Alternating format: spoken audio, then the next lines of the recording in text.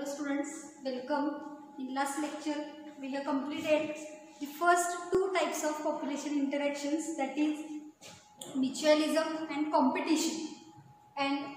now,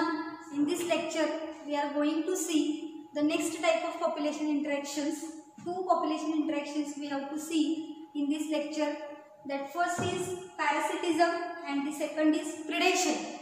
parasitism and predation these both interactions are having plus and minus type of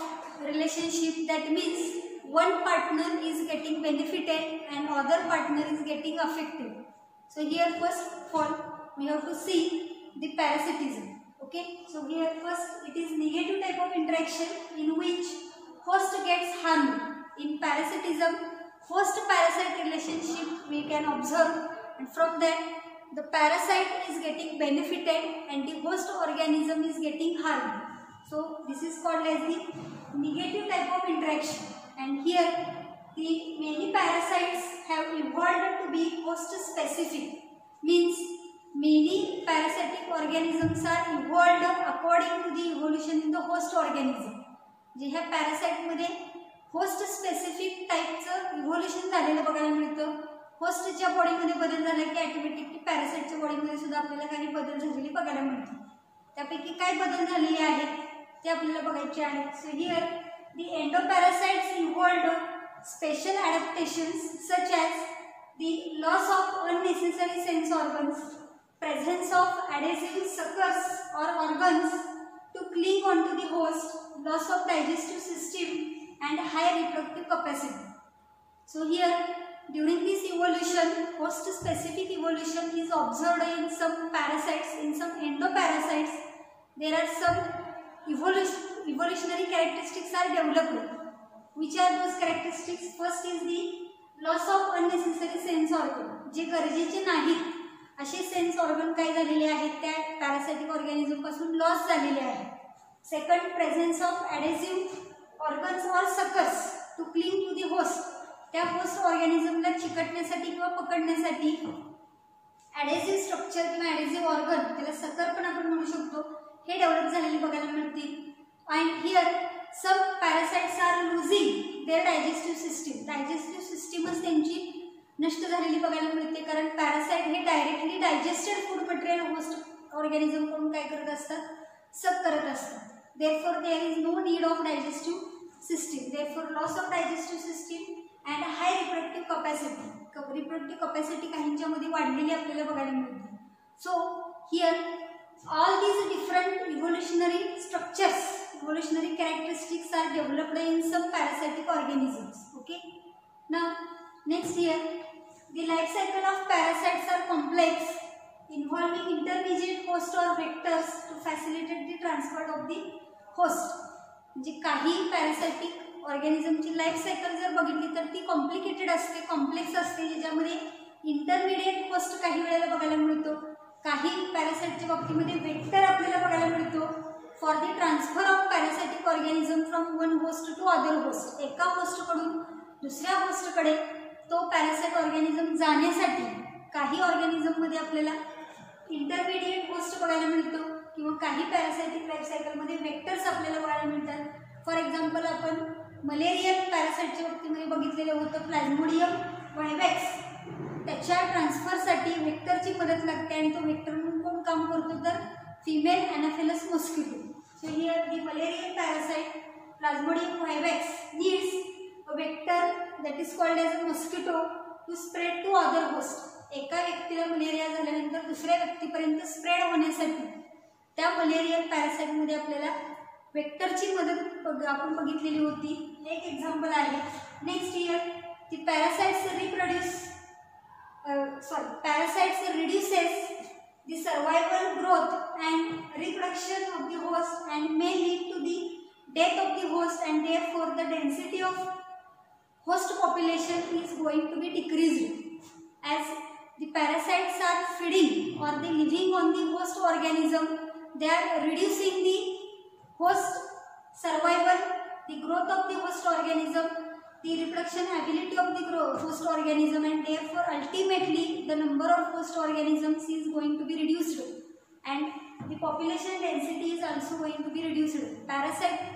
त्या host ऑर्गॅनिझममध्ये राहत असल्यामुळं host ऑर्गॅनिझमची growth त्याची सर्वायवल ॲबिलिटी त्याची रिप्रोडक्टिव्ह ॲडिंग ॲबिलिटी हळूहळू कमी होत जाते त्यामुळे अल्टिमेटली त्यांची संख्यासुद्धा आपल्याला कमी झालेली बघायला मिळते okay so here basically two types of parasites present ectoparasite and endoparasite when the parasite organism is living on the external surface of the host organism those organisms are called as ectoparasites and when the parasitic organism is living inside the host body then it is called as endoparasite first of all we have to see here about the ectoparasites parasites that feed on the external surface of the host body or the host organism. These are called as ectoparasites. Here three examples. First we have to see lice on humans, ticks on dogs, cuscuta a parasitic plant that derives its nutrition from the host plant. हे three examples are पहिले example lice. Human particularly particularly फिमेल्समध्ये गर्ल्समध्ये शाळेत जाणाऱ्या मुलींच्या डोक्यामध्ये आपल्याला उवा बघायला मिळतात लाऊज सिंगल असेल तर लाऊज म्हणलं जातं अनेक असतील तर त्याला लाईस म्हणलं जातं हे एक्टो पॅरासाईटचं एक्झाम्पल आहे टिक्स टिक्स ऑन डॉग्स ज्याला आपण मराठीमध्ये पिसू किंवा पिसवा म्हणतो पाळीव प्राणी जर घरामध्ये असतील कुत्रा मांजर गाय म्हैस शेळी वगैरे तर त्यांच्या बॉडीवरती आपल्याला हे पिसू बघायला मिळतं त्याला टिक्स म्हणलेलं आहे हे सुद्धा एक्सटर्नल बॉडी सर्फिसवरती प्रेझेंट असते आणि तिसरा एक्झाम्पल आहे एक स्कूटर हे जे येलोइश कलरचं वायरी स्ट्रक्चर दिसतंय हे प्लांटच आहे परंतु ते पॅरासायटिक प्लांट आहे ते दुसऱ्या प्लांटवरती जगत असतं दुसऱ्या प्लांटला गुंडाळून घेतं आणि दुसऱ्या प्लांटकडून ते न्यूट्रिशन मिळवत असतं कसकुटा ज्याला मराठीमध्ये अमरवेला पण म्हणतो हे सगळे तिन्ही एक्झाम्पल कशाचे आहेत एक्टो पॅरासाईटचे आहेत अजून काही एक्झाम्पल्स आपल्याला बघायचे आहेत ecto पॅरासाईटचे here next example many marine fishes are infested with ectoparasitic copepods जसं ह्युमन बिईंगमध्ये लाईफ आपल्याला बघायला मिळतं तसं काही फिशेस आहेत त्या फिशेसच्या बॉडीवरती आपल्याला असे कोपॉड्स हे जे दिसतात आतमध्ये सगळे हे कोपॉड्स म्हणजे हे असे छोटे छोटे एक तो पॅरासायटिक ऑर्गॅनिझम आहेत डिफरंट टाईप्स ऑफ कोपॉड्स आहेत हे कोपॉड्स मराईन ऑर्गॅनिझमच्या स्किनवरती अटॅक करतात आणि अशा पद्धतीने त्या आतल्या बाजूला वाढलेले बघायला मिळतात पण so many marine fishes are infested with this copepods हे एक पॅरासायटिक ऑर्गॅनिझम्स आहेत नेक्स्ट गियर ब्रूड पॅरासिटिझम अजून एक पॅरासिटिझम आहे एक तर पॅरासिटिझमचं एक्झाम्पल आहे ब्रूड पॅरासिटिझम काय याच्यामध्ये बघा the parasitic bird lays its eggs in the nest of the host bird and lets the host bird incubate them म्हणजे इथं एक जो पॅरासिटिक बर्ड आहे तो होस्ट बर्डच्या घरट्यामध्ये काय करतो अंडी घालतो आणि तो होस्ट बर्ड जो आहे तो आपल्या अंड्याबरोबर त्या पॅरासिटिक बर्डची अंडीसुद्धा काय करतो इन्क्युबेट करतो उगवतो आणि त्यातून त्यांचं पिलू जन्माला येतं आपल्या बाळांना खायला देताना तो त्यांच्या पिलांना सुद्धा काय करतो खायला देतो अशा पद्धतीचं पॅरासिटिझम आहे त्याला ब्रूड पॅरासिटिझम म्हणलेलं आहे एक्झाम्पल आहे एक of the parasitic bird Asian koel ही कोकिळाची एक जात आहे एशियन कोयल म्हणलेलं आहे hatch before that of its host common Indian crow तुला एक इंडियन क्रो आहे कावळा त्या कावळ्याच्या घरट्यामध्ये ती कोकिळ काय करते अंडी घालते आणि त्या कोकिळीच्या अंडीलाच उभवण्याचं काम कोण करतं हा कावळा करतो ही एकसारखी अंडी आहे आणि हे वेगळा अंडा आहे पण ते कावळ्याचे लक्षात येत नाही तो त्याच्या स्वतःच्या अंडी असल्यासारखंच त्याचं संरक्षण करतो त्याला इन्क्युबेट करतो त्याच्यातून पिलं बाहेर आले की त्याला खायला देतो अशा पद्धतीने इथं एशियन कोयल जी आहे ती स्वतःची अंडी दुसऱ्या पक्षाच्या घरट्यामध्ये घालते या पॅरासिटिझमला ब्रूड पॅरासिटिझम असं म्हणलेलं आहे मी वेगळं एक्झाम्पल आहे आपल्याला एक्झामच्या दृष्टीने लक्षात ठेवायला next year the endoparasites we have to see the endoparasites examples the parasitic organisms which are living inside the first organisms body those are called as the and different examples from the the parasites we have seen in the topic human health and diseases we have seen the plasmodium causing the malaria Pentamoeba histolytica causing amoebiasis, ascariasis caused by the ascaris, and tinea. These different primitive type of organisms which are endoparasitic on other organisms. Okay, so here this is the plasmodium particles. This is the Pentamoeba histolytica. These are the ascaris, female and male, and this is the tinea, tapeworm. These are the endoparasitic examples which are living inside the host body. Okay. Now next year we have to see there are some carrier or some vectors which are used by these some parasite organisms for the transfer of parasite from one host to other host. एका होस्टकडून दुसऱ्या होस्टकडे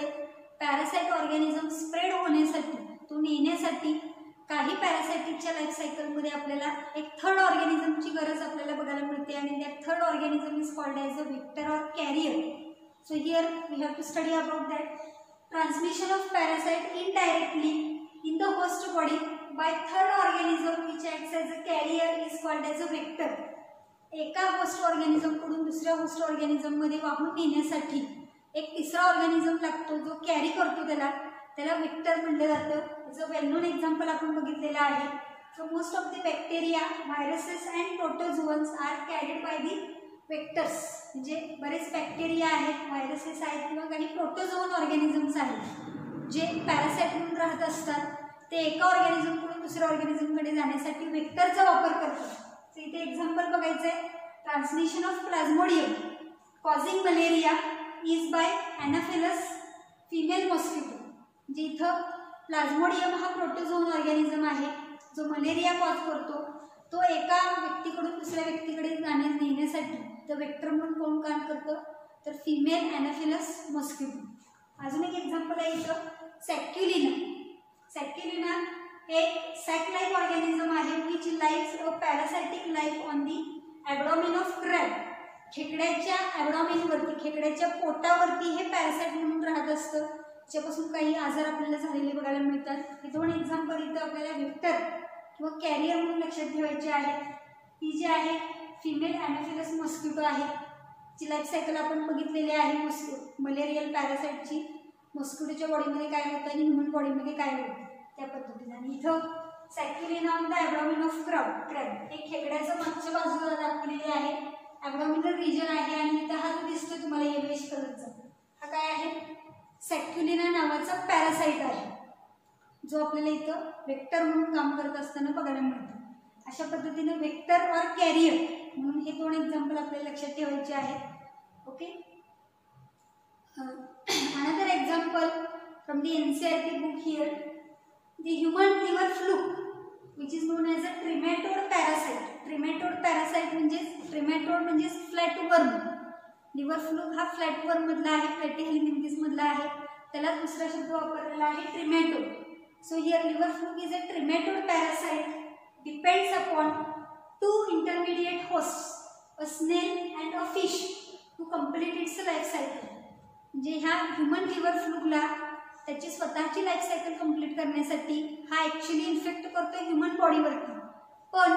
for the completion of its life cycle it needs or it requires आणि another two intermediate host that is a snake and a fish गोगलगाय आणि मासा हे दोन intermediate host आहेत जर ह्युमन बॉडी नाही मिळाली त्यांना तर ते काही काळ या ऑर्गॅनिझमवरती काय करतात जगतात आणि ज्यावेळेला ह्युमन बॉडी त्यांना होईल अवेलेबल इन्फेक्शनला त्यावेळेला ते ह्युमन बॉडीवरती अटॅक करतात अशा पद्धतीने हे ह्युमन लिव्हर फूडमध्ये दोन इंटरमिडिएट होस्ट आहेत स्नेल आणि फिश हे एन सी आर टीमधलं एक्झाम्पल नीटसाठी आपल्याला लक्षात ठेवायचं आहे okay So these are the different points related to this parasitism. Different examples आहेत ज्याच्यावरती एक्झाम्पल आपल्याला प्रश्न विचारला जाऊ शकतो एक्टोपॅरासाइट पॅरासाईट हे एक्झाम्पल्स आपण लक्षात ठेवायचे आहेत ओके ना तर next population interaction type that is predation in the biological community or in the ecosystem prey and predator relationship is playing very much important role Baksh आणि मक्ष यांच्याबची रिलेशनशिप आहे it is also negative type of relationship where predator is getting benefited but prey is getting harmed prey is getting harmed or prey is getting loss so here the predation predators play important role because they are keeping prey population under control predation हे अतिशय महत्त्वाचा role आहे कारण प्रे population कंट्रोलमध्ये करण्यासाठी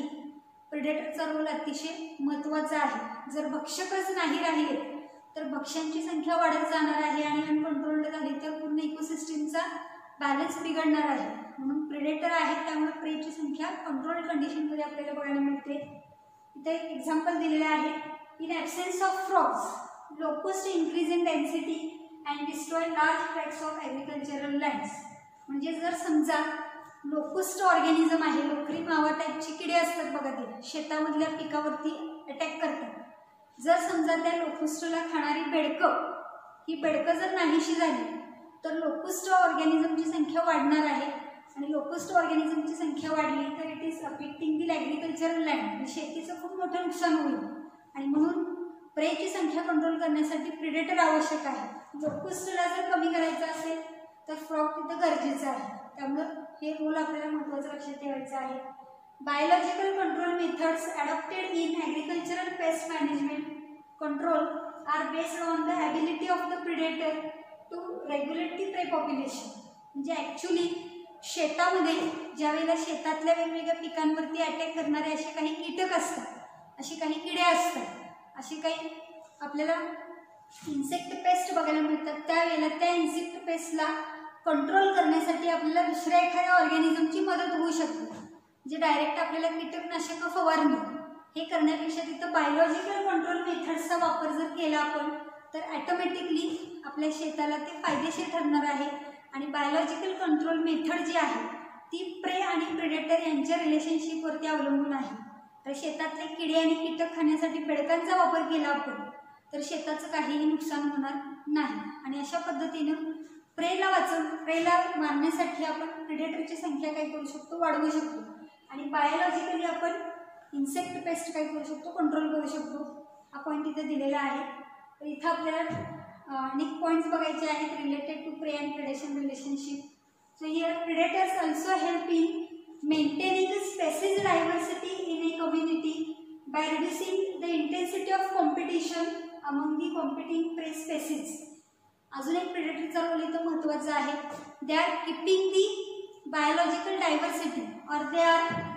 maintaining the biological diversity in and community in an ecosystem by reducing the intensity of competition between the prey population म्हणजे अनेक व्हरायटी ऑफ कीटक असतील एखाद्या जंगलामध्ये म्हणून किंवा एखाद्या शेतामध्ये अनेक प्रकारचे कीटक आहेत जे प्रे म्हणून असणार आहेत आणि त्यांना खाणारे प्रेडेटर असणार आहेत जर समजा प्रिडेटर नसले तर काय होणार आहे जे प्रेम तिथं राहणार आहेत जे कीटक तिथं असणार आहे त्या कीटकांच्या मध्ये एकमेकांच्या मध्ये कॉम्पिटिशन होऊन बरेचसे कीटक काय होऊ शकतात नष्ट होऊ शकतात पण जर प्रिडेटर तिथं असेल तर तो प्रिडेटर काही कीटकांना खाऊन टाकेल त्यामुळे ॲटोमॅटिकली तिथलं कॉम्पिटिशन काय होईल कमी होईल आणि संख्या स्पेसिसची आहे तेवढीच मेंटेन राहील म्हणजेच स्पेसिस डायव्हर्सिटी एखाद्या ठिकाणी जर पन्नास कीटक असतील वेगवेगळ्या स्पेसिसचे तर त्या पन्नास स्पेसिसला मेंटेन करण्याचं काम कोणाचं आहे प्रिडेटरचं आहे कारण एका वेळेला त्या पन्नास जातीच्या किड्यांची संख्या वाढू न देण्याचं काम कोण करणार आहे हा प्रिडेटर करणार आहे म्हणून तो एक पॉईंट इथं महत्त्वाचा आहे next year when certain exotic species are introduced accidentally intentionally into a new geographical area then became invasive and start spreading rapidly due to the absence of natural predator. हा एक पॉईंट इथं महत्वाचा आहे की चुकून काही वेळेला काही इकोसिस्टीममध्ये अनावश्यक काही स्पेसिस बाहेरून आली तर काही वेळेला त्याला न खाणारा एखादा प्रेडेटर तिथे नसेल त्याला खाणारा प्रेडेटर नाही म्हणून त्या आलेल्या स्पेसिसची संख्या ॲटोमॅटिकली वाढत जाते आणि ओरिजिनल तिथं असणारी स्पेसिस काय व्हायला व्हायला लागते नष्ट व्हायला लागते म्हणजे फॉर एक्झाम्पल आपण बघूया की जे काँग्रेसची झाडं वाढतात आपल्या शेतांमध्ये तर गाई म्हैशी ज्या वेळेला चरायला येतात त्यावेळेला आपल्या शेतामध्ये काँग्रेस वाढलेलं जर असेल तर ते काँग्रेसचं झाड जे आहे ते गाई म्हैशींकडून खाल्लं जात नाही त्या उलट गवत झाडपाला बाकीचं काही जे चारा वगैरे उगवलेला असेल तर ते खाल्लं जातं आणि त्यामुळे ॲटोमॅटिकली त्या काँग्रेसच्या झाडांची संख्या काय होती तर वाढत जाते आणि ती स्पेसिस तिथं जास्त प्रमाणामध्ये वाढलेली बघायला मिळते पण आपल्याला जे हवी आहे जी लागणार आहे उपयोगी आहे ती स्पेसेस तिथं वाढणारच नाही असं सुद्धा होऊ शकतं कारण काँग्रेसला खाणारा कोणी प्रिडेटरच तिथे नाही काँग्रेस हे प्रे पकडलं आपण तर तिथं प्रिडेटर नाही त्याला खाणारा आणि त्याच्यामुळे आपल्याला त्यांची संख्या वाढलेली बघायला मिळते तसंच इथे एक एक्झाम्पल आपल्याला बघायचं आहे zebra mussels in the intertidal zone of North America तर नॉर्थ अमेरिकामध्ये असेच एक मोलिस्कन ऑर्गॅनिझम आहे झेब्रा मसेल्स त्याला म्हणलेलं आहे यांची संख्या अशी खूप मोठ्या प्रमाणामध्ये वाढलेली आहे कारण याला खाणारा कोणी प्रेडेटरच तिथे अवेलेबल नाही या मसेल्सनं खाणारे सगळे एक एक ऑर्गॅनिझम आहे किती संख्या वाढलेली आहे बघा no predator can eat this prey and therefore the zebra mussels in the intertidal zone of North America is going to be increasing आणि अशा पद्धतीने यांची संख्या तिथं वाढत गेलेली आपल्याला बघायला मिळते म्हणजे प्रिडेटर असणं हे किती महत्त्वाचं आहे नुसतं प्रे असून चालणार नाही इकोसिस्टीममध्ये किंवा कम्युनिटीमध्ये बायोलॉजिकल कम्युनिटीमध्ये प्रे पण पाहिजे आणि प्रिडेटर पण पाहिजे तरच दोघांची संख्या आपल्याला तिथं कॉन्स्टंट राहिलेली बघायला मिळेल ओके ना next year prey species have evolved various defences to reduce the impact of the predation it is a kind of evolutionary arm race काही वेळेला प्रिडेटरकडून खाल्लं जाऊ नये किंवा प्रिडेटरपासून संरक्षण मिळावं म्हणून प्रे करून बक्षाकडून काय केलं जातं अनेक प्रकारचे कॅरेक्टरिस्टिक डेव्हलप झालेले आहेत अनेक प्रकारचे ॲबिलिटीज त्यांच्यामध्ये डेव्हलप झालेले आहेत तर त्यालाच आपण इथं म्हणणार आहे इव्होल्युशनरी आर्म्स रेस म्हणजे ह्या रेसमध्ये टिकवून राहण्यासाठी आणि प्रिडेटरकडे खाल्लं जाऊ नये म्हणून व्हरायटी ऑफ डिफेन्स मेकॅनिझम्स आपल्याला बघायला मिळतात some species of insects and frogs are cryptically coloured त्याच्यामध्ये पहिलं एक्झाम्पल आपण बघणार आहे some insects and frogs are showing cryptically coloured and that are called as a camouflage to avoid being detected easily म्हणजे एखाद्या प्रिडेटरकडून पटकन पकडलं जाऊ नये ओळखलं जाऊ नये म्हणून काही इन्सेक्ट्स आणि काही फ्रॉग्स आहेत त्यांच्यामध्ये आपल्याला क्रिप्टिकली कलर्ड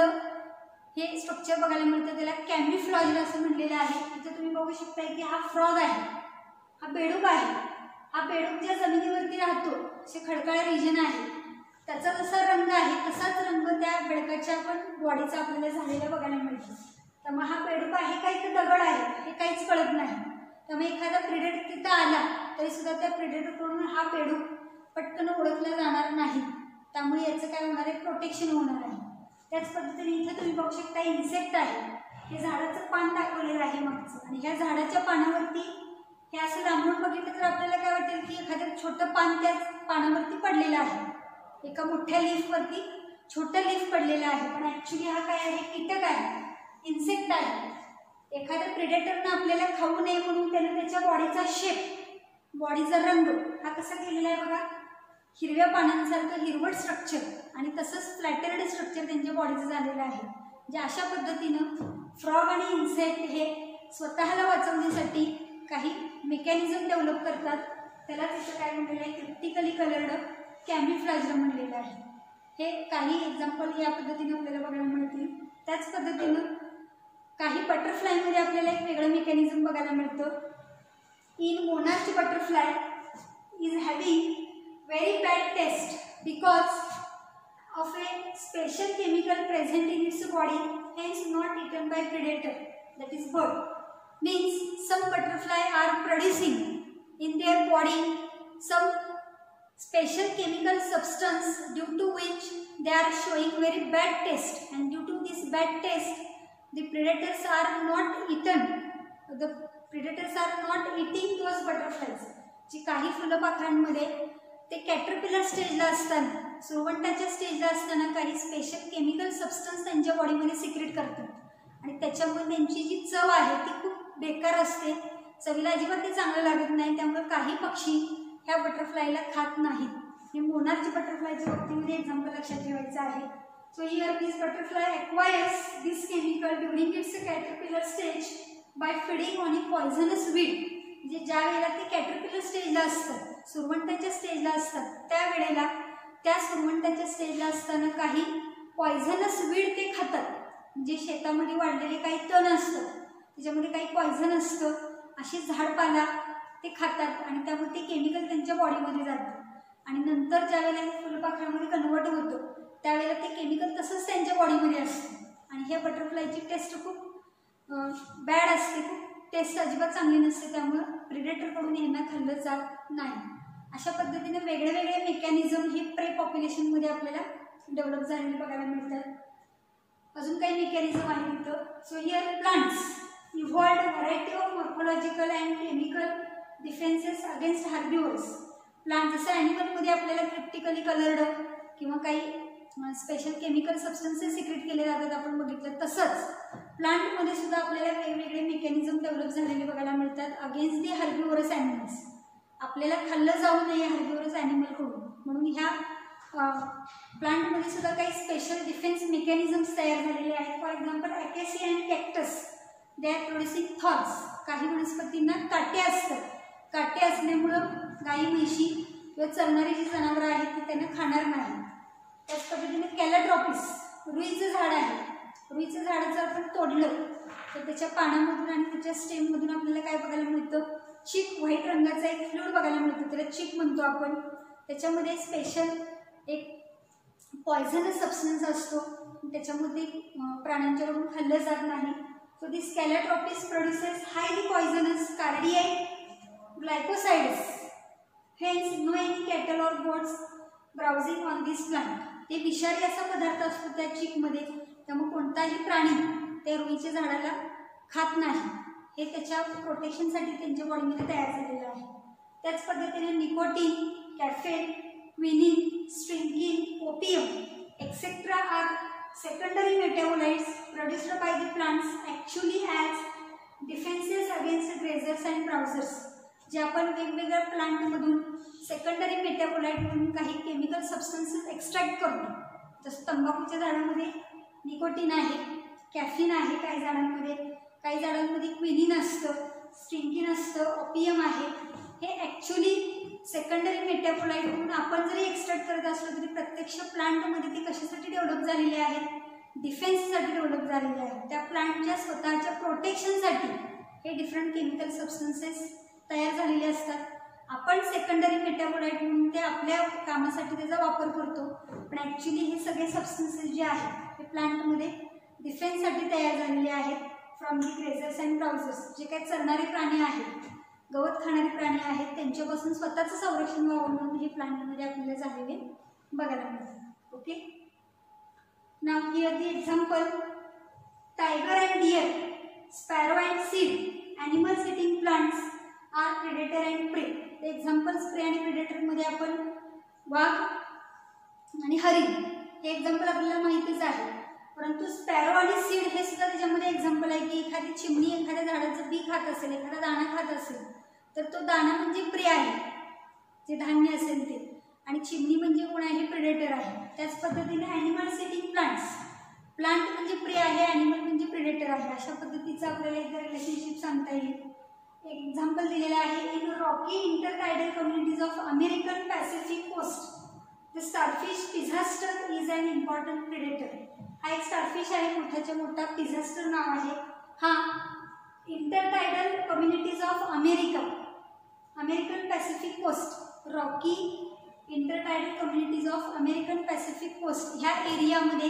हा खूप मोठा प्रेडेटर म्हणून तिथं आपल्याला अस्तित्वात असलेला बघायला मिळतो म्हणजे असे खूप सारे एरियाज आहेत की जिथं काही ठराविक प्रेडेटर आपल्याला बघायला मिळतात त्यापैकी हे एक एक्झाम्पल आपल्याला इथं सांगता येईल या पद्धतीनं आपल्याला प्रे आणि प्रिडेशन हे दोन कम्युनिटीमध्ये असणारे जे काही बायोलॉजिकल कम्युनिटीमध्ये असणारे जे काही पॉप्युलेशन इंटरेक्शनचे टाईप्स आहेत ते आपण कंप्लीट केलेले आहेत डिफरंट एक्झाम्पल्स आहेत पॅरासिटिझममधले आणि प्रिडेशनमधले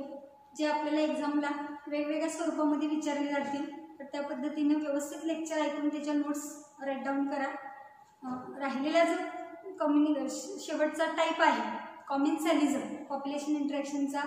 तो आपण नेक्स्ट लेक्चरला बघूया आणि त्याच्यावरती काही एक्झाम्पल्स आहेत ते आपण नेक्स्ट लेक्चरला बघूया ओके टिल देन थँक्यू